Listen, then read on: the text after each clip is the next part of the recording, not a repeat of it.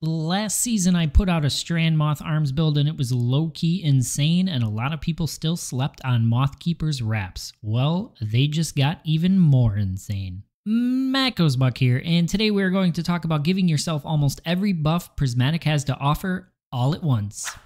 Jolt, Volatile, Unravel, Woven Mail, Overshield, Radiant, Amplified. What if I told you you could have all of these things rolling at the same time? It's simple. Mothkeeper's Wraps and Prismatic go hand in hand. Mothkeeper's Wraps are exotic gauntlets that come with the perk Winged Eclipse. Your grenade becomes a cage of loyal moths that release on impact and fly toward the nearest target or ally. If they reach a target, they detonate in a blinding explosion. If they reach you or an ally, the moth grants you an overshield. I know moth arms sound pretty weird on paper and they kind of fly under the radar, but they have crazy synergy with Prismatic and pretty much give you a ton of buffs with one moth throw. Now, let's get into the build. Your exotic armor is going to be Mothkeeper's Wraps. Obviously, we just talked about that. And your exotic weapon will be Graviton Lance. Everyone knows what Graviton Lance does, so I don't think I need to cover that much. You could also use Buried Bloodline here to give yourself Devour on top of everything else, unless you're like me who's coming up to 40 clears and still does not have it. With all that said, let's set up your subclass starting with the super, and that is going to be Silk Strike, the Strand Super. Why Strand Super? I will get into that later. Your abilities are going to be Gambler's Dodge, Triple Jump, Combination Blow, and Grapple Grenade.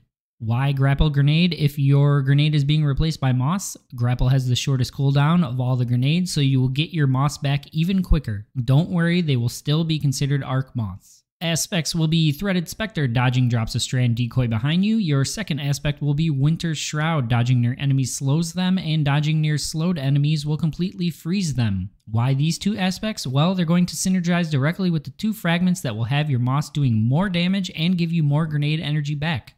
How you ask? Let's check out the fragments. The first one being Facet of Bravery, defeating targets with grenade final blows, grants volatile rounds to your void weapons. This just took your Graviton Lance from crazy to crazier. Also, defeating targets with powered melee final blows will grant your strand weapons unraveling rounds, and we're going to be using the call, but we'll cover that later. Facet of Dominance, your arc grenade jolts enemies, and this also works with your Moths. So now, not only will your Moths be blinding enemies and hitting like a truck, they'll also be jolting and chaining lightning between enemies. A facet of courage, your arc abilities deal increased damage to enemies affected by darkness debuffs. This works directly with Winter Shroud. Dodge near an enemy to slow or freeze them, and your Arc Moth will deal more damage to them. Facet of Balance, rapidly defeating targets with darkness damage, grants grenade energy. Dodge near enemies, drop a threaded specter, it explodes, dealing strand damage, and now you get grenade energy back. Facet of Purpose, and since we're using Strand Super, picking up an Orb of Power will grant you Woven Mail, and we will be making a lot of orbs.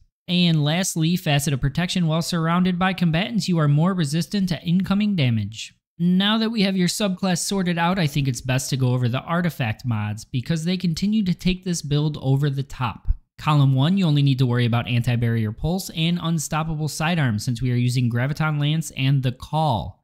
Oh, and Jolt, Slow, and Freeze stuns Overload, so don't worry, you have all three champions covered. Column 2 will be Overcharged Armory to overcharge your sidearm, the Call, and Winning Hand, Precision Final Blows are rapidly defeating enemies with the Call, cause the target to explode, dealing solar damage, because we didn't have enough things going boom yet. Column 3 will be Elemental Siphon, rapid final blows with a kinetic weapon or a weapon matching your super creates an elemental pickup. We're using a strand super and a strand weapon, so you will be making a lot of tangles.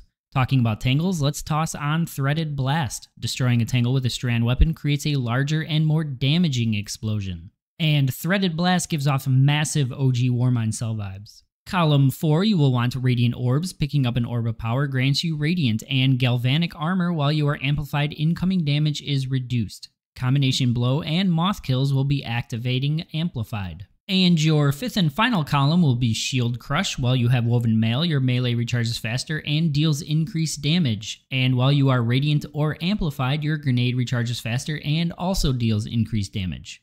You pretty much always have Woven Mail, Radiant, and Amplified. I honestly don't think there is anything more synergistic in the Prismatic kit with Moth Arms than everything I just listed. I tried to do a few different setups with Gunpowder Gamble, Stylish Executioner, and a few other fragments. They were fine in mid-tier difficulty stuff, but really lacked in content where you are under 20 light. I will say Moth Kills turn you invisible with Stylish Executioner, and that is super nice if you want to go that route, but the way I have it set up here was doing the most damage and clearing rooms as quick as possible. With that said, armor mods still matter, so let's set that up. Uh, starting with your helmet, Ashes to Assets, Grenade Final Blows grant you super energy, and Hands On Melee Final Blows grant you super energy. Since you're going to be doing an endless loop of chucking moths and punching things in the face, also prepare to have your super a ton. Your arms will be firepower, killing an enemy with a grenade drops an orb of power, heavy handed, killing an enemy with a powered melee drops an orb of power, and impact induction, dealing damage with a powered melee grants grenade energy.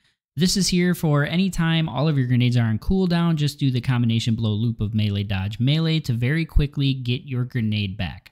Don't worry, you're not going to be stuck just spamming combination blow 24 7.